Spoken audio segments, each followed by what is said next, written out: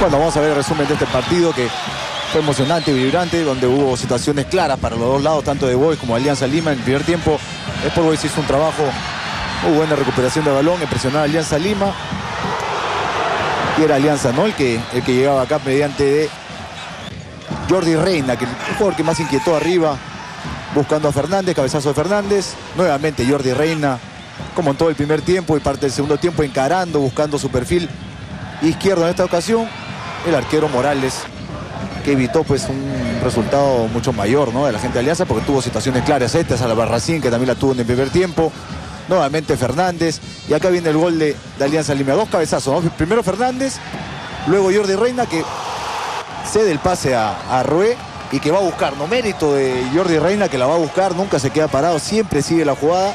Y mérito de eso viene el, el primer gol de Alianza Lima y nuevamente el portero Morales, que fue figura en Sport Boys, ya lo hemos comentado, evitó pues lo que podía ser un resultado más abultado. Nuevamente Jordi Reina desbordando, buscando el centro, buscando casi siempre a Fernández, que hoy día no tuvo suerte ¿no? de cara al gol, pero siempre lo buscó. Fernández es un delantero que siempre está ahí inquietando.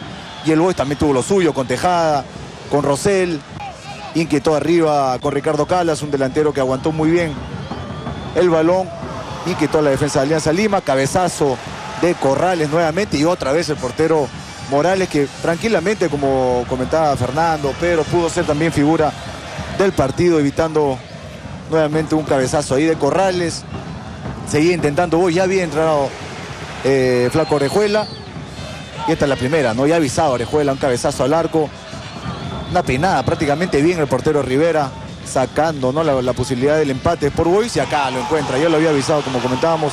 Orejuela anticipándose al portero Rivera, buen cabezazo de, de Orejuela, prácticamente anticipándose a, todos los defensores de Alianza, los centrales de Alianza Lima, y nuevamente el centro, solo el flaco metiendo el cabezazo. Y acá viene el, triunfo de Alianza, ¿no? El gol acá de Asco, que prácticamente se le encontró solo, sin marca dentro del área, un central. Es raro que no, no tenga marca el central de Alianza Lima, Ascuez. Ahí nuevamente rebote.